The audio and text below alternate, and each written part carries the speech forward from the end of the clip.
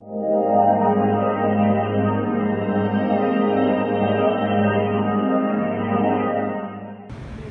kính chào quý vị và các bạn. Hôm nay tôi chia sẻ với quý vị và các bạn các tính năng và cấu tạo của mặt nạ phòng độc, một loại thiết bị được sử dụng khi làm việc trong môi trường khói bụi và có hóa chất.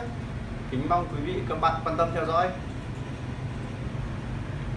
Sau đây tôi chia sẻ với quý vị và các bạn cấu tạo và tính năng của mặt nạ phòng độc. Mặt nạ phòng độc gồm 3 bộ phận chính. Van dẫn khí, phin nọc. Bên trong phin nọc là một lớp than hoạt tính.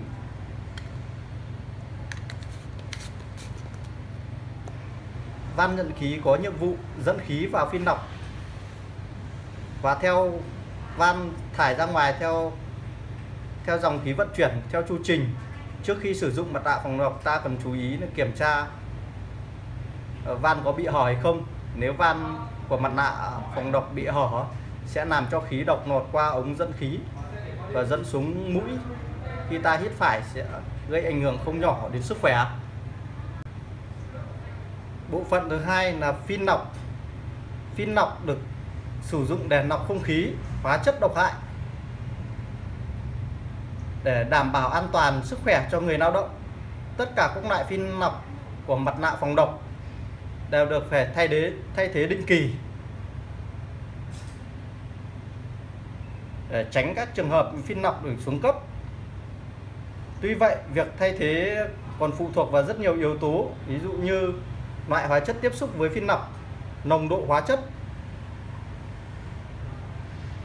và thời gian tiếp xúc với hóa chất càng lâu thì càng nhanh hỏng phin nọc và cần phải thay thế phin nọc. Bên trong phin nọc là bộ phận thứ ba là than hoạt tính. Than hoạt tính trong mặt nạ phòng độc uh, ờ, giúp nó lọc không khí độc hại ô nhiễm thành không khí trong lành để người sử dụng. Hít vào không làm ảnh hưởng đến sức khỏe thông thường để làm tăng hiệu suất lọc nhanh và cao cho người sử dụng một số uh, xúc tác kèm theo. Mặt nạ uh, phòng độc có vật liệu chủ chốt là than hoạt tính. Sau khi hóa chất độc hại ờ, tiếp xúc với than hoạt tính các hóa chất độc hại sẽ được lọc thành không khí sạch đưa vào mũi. Than hoạt tính được đặt bên trong phin lọc và có dạng nỗ để giữ hơi độc tác dụng với than.